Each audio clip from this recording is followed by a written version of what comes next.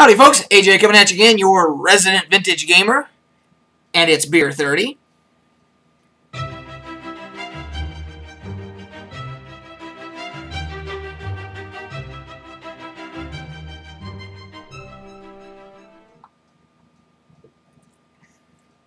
So today, uh, we are having a shock top Belgian Belgian white ale, and uh, this is the type of beer that uh, that you want to drink if you're thirsty and you're looking for something refreshing.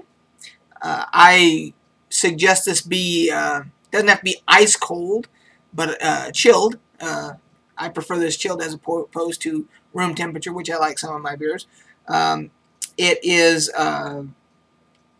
it's kind of like a German Hefeweizen, but it is a, a, little bit more filtered. It's not completely filtered, I don't think. There's a little bit in there that's not filtered, and it uh, it has the same type of flavors, uh, uh complexity that say a Hefeweizen does.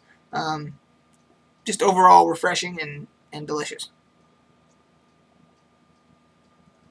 And this isn't by any means a craft beer. This is this is an Anheuser-Busch um, uh, macro macro brew that they try to pass off as a microbrew, but I think it tastes pretty good. So anyway, that's it on today's beer. Let's talk about the topic of the day, the gaming topic of the day. And that would be uh, the the issue of day one DLC and or in some cases or uh, games that are not offering very much gameplay for the full full price pay, uh, price tag that they're asking for. So, uh, and a couple of the latest uh, examples of this would be you have Evolve, uh, which was a highly you know anticipated game, uh, squad based game where you have it's it's a, you know it's a co-op where you have uh, a certain number of players uh, fighting against a monster um, that is also played by another player. And uh, there's uh, they're called hunters. The the ones obviously they're hunting the monster. And the problem here is, and I'm and this is not something that has uh, that I'm groundbreaking on or anything else, but I want to give my two cents. They launched the game for sixty dollars, and right out of the gate, right out of the gate, same time they, they launched the game, they have $85 worth of DLC that they put out. Which leads somebody to, you know, those of us that have been around for forever to say, uh, why did, you know, what the hell is that? Uh, when you buy a game, when it comes out, when it's published, it should be the complete game. And then down the road, if they create an expansion pack or DLC as they call it now, um, additional content that they begin to work on at, at, once the game is launched, that's fair game. That's fine.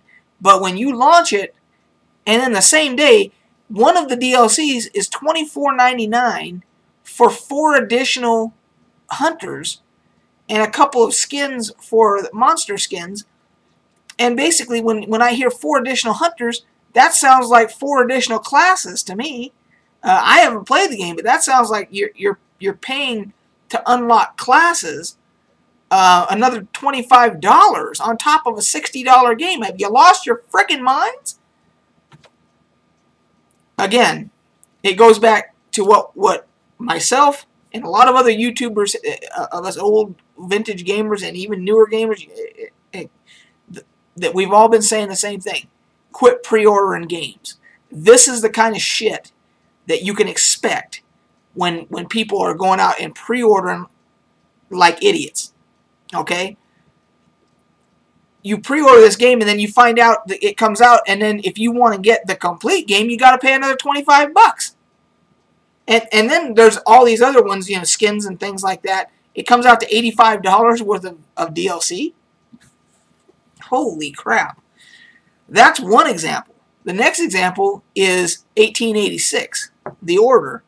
Um, and that's you know that's a PlayStation 4 exclusive, and from all accounts, it can be finished in about five hours for a $60 game, and that just doesn't seem like uh, you're getting your money's worth for me.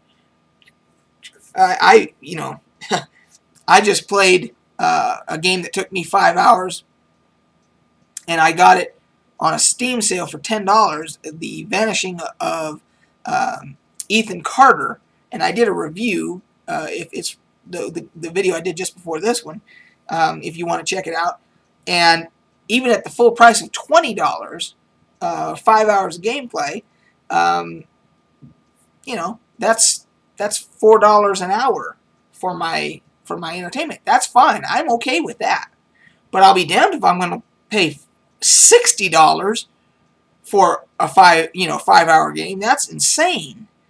So again, those that pre-ordered it are probably going to feel like they got screwed. They paid sixty dollars up front, get their game, they finish in five hours. What? so anyway, um, just more evidence that as long as, and it's supply and demand, as long as everybody is uh, continuing to feed the monster with pre-order money, they're going to keep doing this stuff. And if you're fine with that, if, if the if the majority of the the gaming consumers out there are okay with that, I guess that's the way it's going to be. But if if you're unhappy about it, then then don't be a hypocrite and go and pre-order, start pre-order, keep keep on pre-ordering games because you're just you're just feeding the machine that's that's that's causing all of these types of things. Unfinished games, games that do not promise or do not deliver on what they promised, uh, day one DLC, and games that are very short on content for a full full price price tag.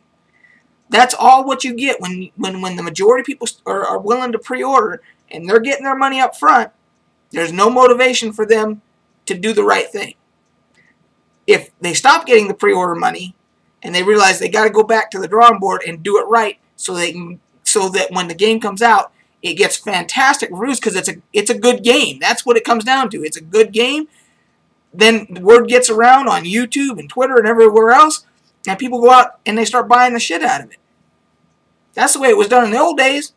So, anyway, that's this old gamer's two cents on the matter. Um, enjoy your evening. Cheers, and we'll catch you guys on the flip side.